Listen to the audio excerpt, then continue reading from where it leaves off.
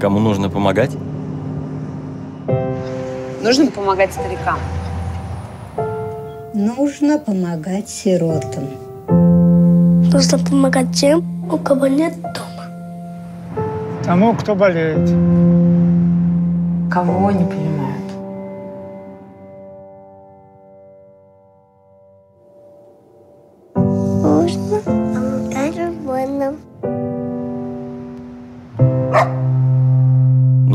Помогать всем. Всем – это благотворительная программа, где каждый платеж равномерно распределяется между фондами-участниками. Пожертвование можно сделать в любом терминале Киви или с помощью Киви кошелька. Подробнее о программе на сайте помочьвсем.рф.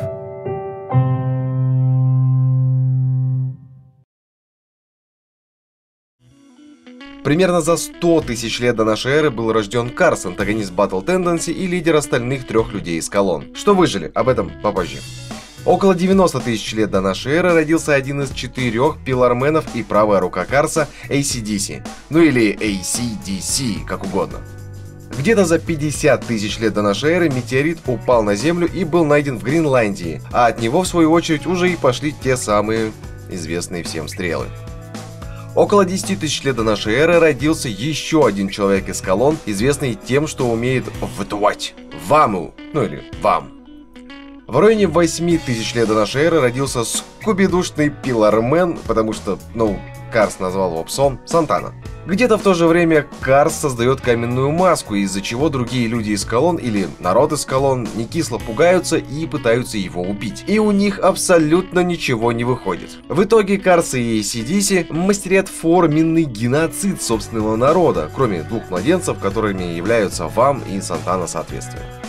Около трех тысяч лет до нашей эры люди из колонн начинают поиск красного кристалла Эйша. Тогда же впервые появляется Хаман. И тогда же Сантану оставили в Мексике, что, к слову, родина всех людей из колонн. Причина тому кроется в происхождении самого Сантаны. Он был для Карса не важнее сторожевой собаки, поэтому его и оставили там охранять. И чтобы у него было достаточно времени, 2000 лет ажно, и одиночество, расписывая историю людей из колонн по всем окружным стенам.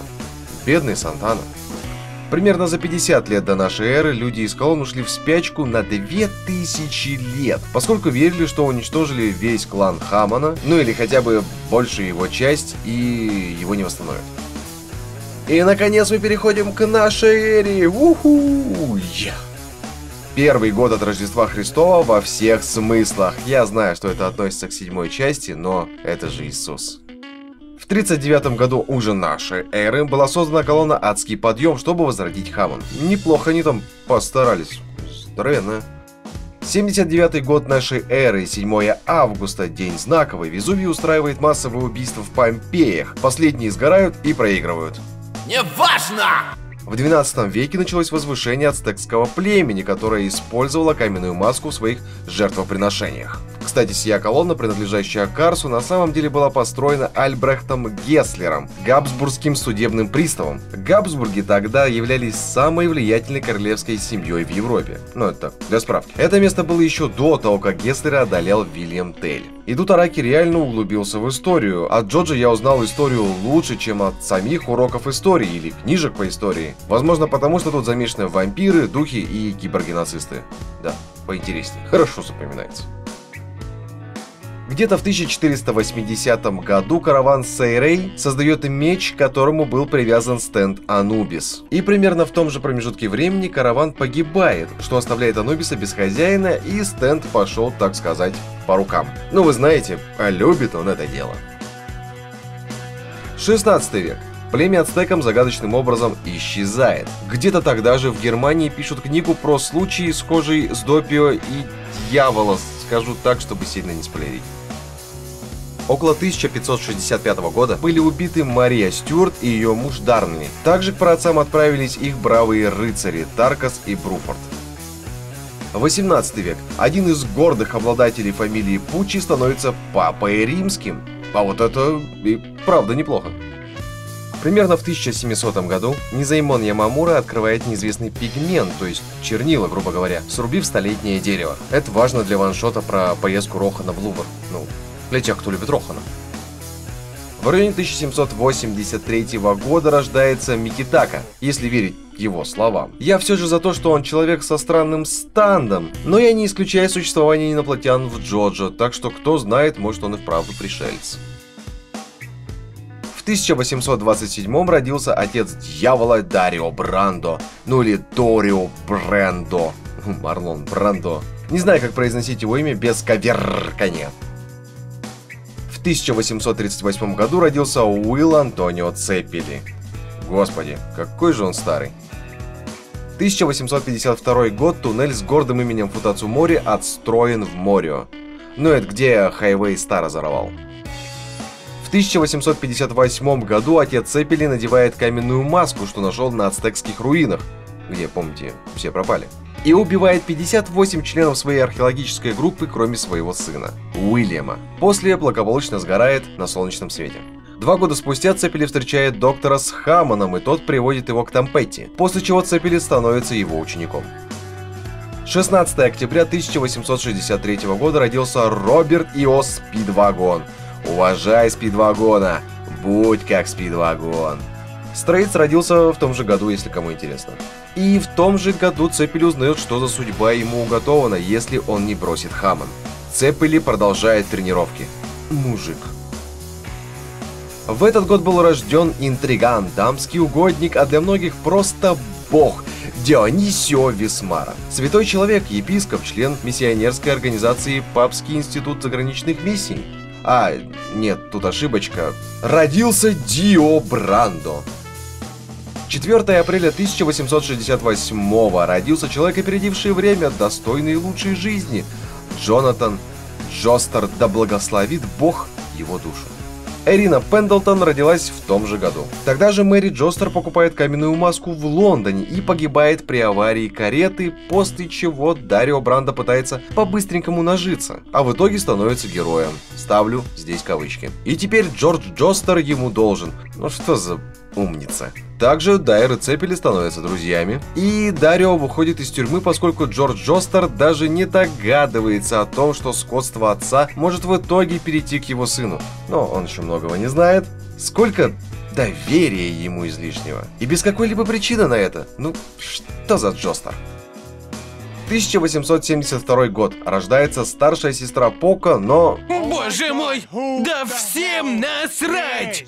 1873 Джордж покупает сыну собаку, когда тому исполняется 5 лет. Сначала было довольно суховато в их отношениях, но потом собака не дала ему утонуть в реке, и они стали лучшими друзьями, как и зритель. Этой собакой был Дэнни, и я, я так ненавижу Дио Фантом Блад, но такие уж были времена. 1880 год начала Фэнтом Блад. Да начнется же эта грустная и великая история – События берут начало со смерти Дарио Брандо. Уху! Но с этого момента жизнь Джостеров круто изменится в худшую сторону. В 1881 году Джонатан впервые встречает Эрин, одновременно выхватывая звездюлей, и она даже не убегает. Почему ты не убегаешь? Тут два варианта, присоединиться или валить, такие уж правила в драках. Дио усыновляется Джорджем Джостером. Охуительно. Эрина также отправляется в Индию ради своего отца. Затем случается смерть самого лучшего персонажа из Джоджо, Дэнни Джостера. И да, тут такого много.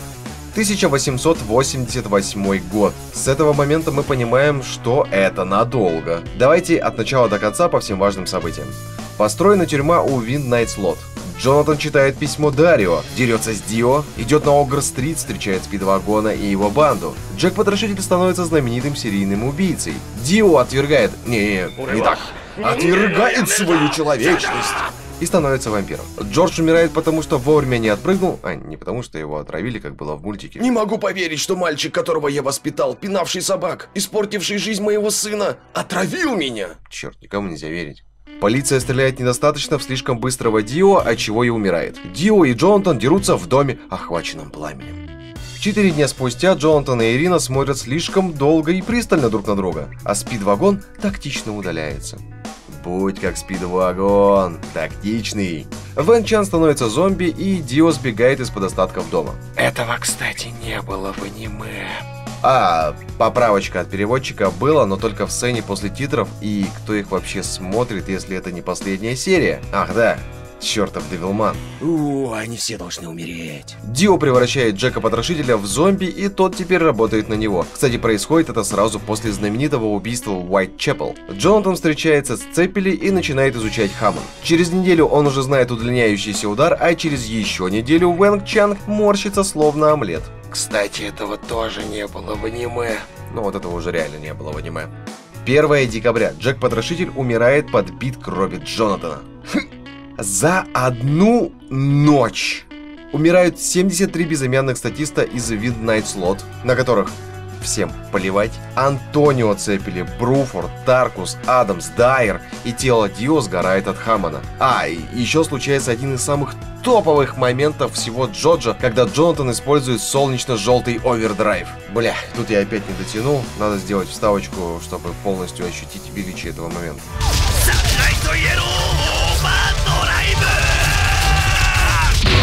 Это неоспоримо, даже не пытайся. Не пытайся.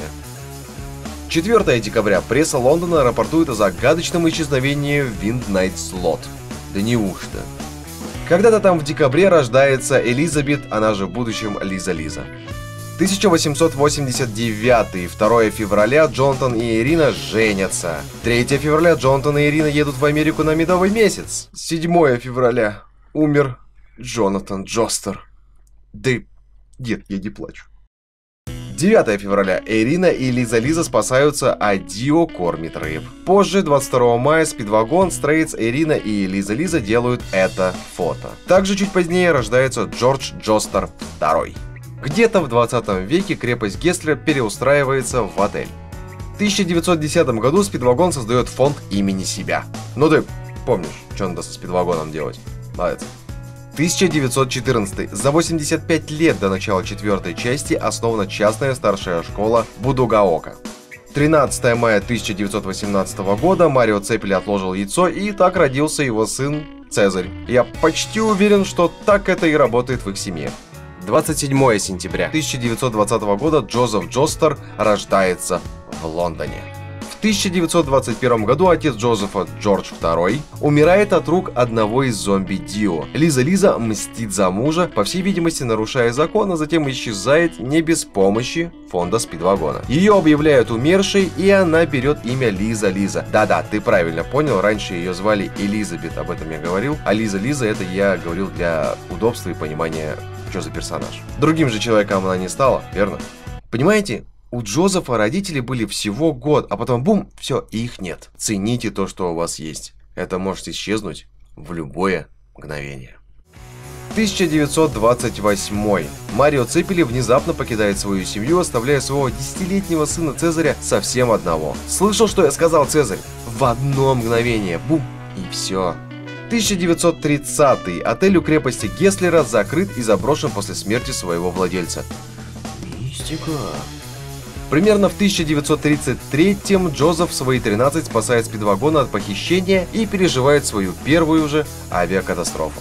Где-то в это же время нацисты нашли людей из колонны в Риме за 5 лет до их пробуждения. Я себе будильники за 5 минут до будильника, когда надо вставать, ставлю. Учитесь, пилармены. Где-то в 1934 году родился Кенза, владелец Сутанда Dragon's Dream. В 1935-м Марио Цепели был поглощен Карсом из-за Цезаря. Цезарь, я же сказал цени, цени, а не убивай, ну ты чё?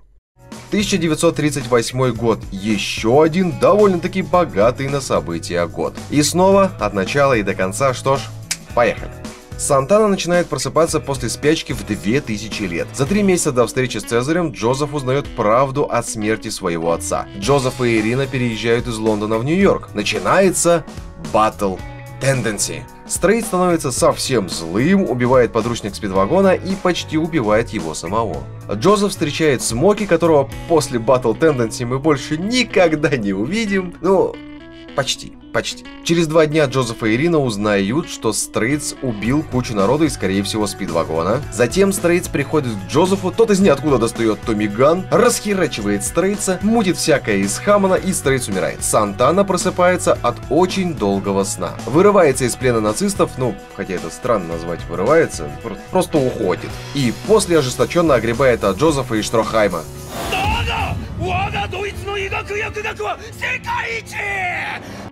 Через три дня Сантану отправят в штаб-квартиру спидвагона в Вашингтоне на изучение под ультрафиолетом. А мы так и не узнаем никакой новой информации о Пиларменах. Как вам такое, а?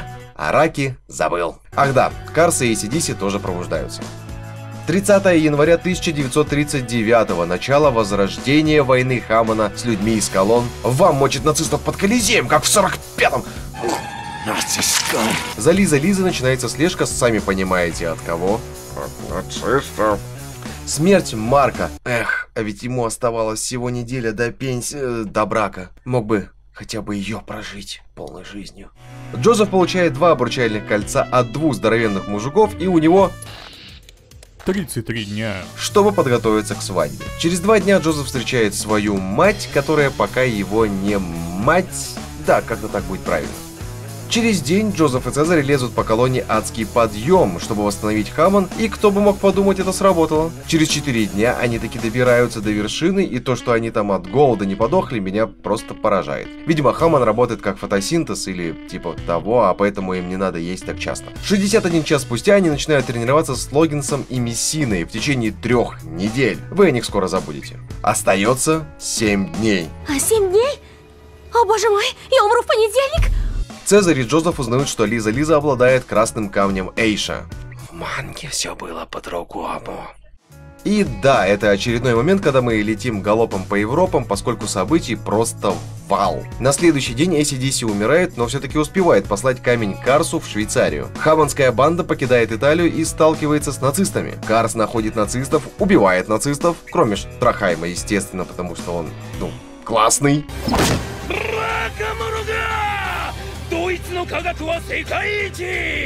Мы узнаем, что он все-таки живой и теперь еще и киборг. 27 февраля Цезарь умирает от рук Вама, потому что довыебывался. Oh, Caesar, I didn't know you were Говорю как есть, у него было много вариантов убить Вама, но Цезарь выбрал самый тупой из них, за что и поплатился. На следующий день Джозеф и Ваму участвуют в древнегреческом Steel Ball Run. Катаются по удивительно пустому Колизею, попутно пытаясь убить друг друга. Вам и Джозеф играют в камень-ножницы-бумага. Вам используют воздушные ножницы, Джозеф использует огонь и дух своего мертвого друга. Вам умирает и больше не может жениться, выйти замуж. Бля, в общем, колечко снимают. Карс против Лизы Лизы. Карс использует технику теневого клонирования и читерит. Также он играет на ногах Лизы Лизы, как на электрогитаре, хотя их тогда еще и не изобрели. Объясните мне, почему это сейчас было? Карс становится совершенным существом и начинается финальное противостояние с Джозефом. И что же они делают? Опять играют в камень, ножницы, бумага. Карс выбирает ножницы, а Джозеф не выбирает ничего, поскольку думает, что уже выбрал и победил. И на удивление, да, ножницы побеждают. Карс выбирает бесконечный источник сил в форме бумаги, Джозеф выбирает камень. Камень побеждает. Попутно Джозеф теряет руку, чтобы потом заменить ее крутым протезом. Теперь Джозефу приходится жениться на Сьюзи Кью, поскольку все его невесты мертвы. Запасной аэродром, чё. 1942. Да-да, я знаю, что много чего еще произошло в этот промежуток между 39 годом и 42 но в этот год родилась Холли Джостер. Разве не здорово? 1943 год. Штрахайм погибает где-то под Сталинградом. Где-то в 1945 году родился Рюхей, дед Джоски. 1948 Лиза Лиза вновь выходит замуж за сценариста из Голливуда. Так держать, девочка. Ирина умирает в 1950 в окружении своей семьи, любимая всеми. Спидвагон умирает через два года, в 1952. В 1957 родился Дэниел Джей Дарби. 1958. 30 лет до начала третьей части. Роузес начинает работать дворецким в семье Джостеров. Где-то в 1962 родилась мать Джоски Тамока Хигашиката. В 1964 году в море родился Анжера, ну или Анджело Катагири, владелец стенда Aqua Necklace. Надеюсь, так понятнее стало. В этом же году Рюхей начинает работать в полиции. 1965 год. Мать дьявола села в женскую тюрьму на 10 лет. И в том же году Жан-Пьер Полнарифу родился во Франции. 30 января 1966 года родился по-королевски убийственный, один из лучших злодеев Джорджа, по моему мнению. Явно неровно дышащий к стенду The Hand Яшикаги Кира. Летом 1967 года в женской тюрьме родился Дьявола. Напомню, в женской тюрьме. И что тут странного? Холли и Садао Куджо женятся, отца Джотера мы так и не увидим. В районе 1967 родилась Рэми Сугимото, а также в этом году родился владелец стенда Green Day Чоколата. 5 января 1968 года родился Терренс Ти Дарби. Осенью 1969-го Кенза, владелец стенда Dragon's Dream, убивает 34 человека. Вот это прям да. Ну, парни, что ж, это далеко еще не все, что нам надо разобрать. Еще части с 3 по 6 полностью не рассказаны. Это вполне неплохая точка для перерыва, так сказать. Мы начали с отметки в 100 тысяч лет до нашей эры и дошли до 1969 года нашей эры. Это до хрена времени, знаете ли. Если хочешь продолжение, выкажи свою заинтересованность, оставь там комментарий, поставь лайк, тогда я пойму, что это тебе, вам, всем остальным интересно и надо продолжать. И надеюсь вы поняли, что я не стал включать 77 колец из Phantom Blood, так как не особо ясно, нужно ли оно это вообще кому-то. Про вот такие и подобные им вещи пишите в комментариях. Нужно ли про 77 колец рассказать? Где какие косяки с именами, датами, событиями и так далее. Может чего-то важного не упомянул, что ну обязательно нужно. Ну и конечно повторюсь про части после перезапуска видео тоже будет. Что ж, на этом я заканчиваю. Всем удачи и пока.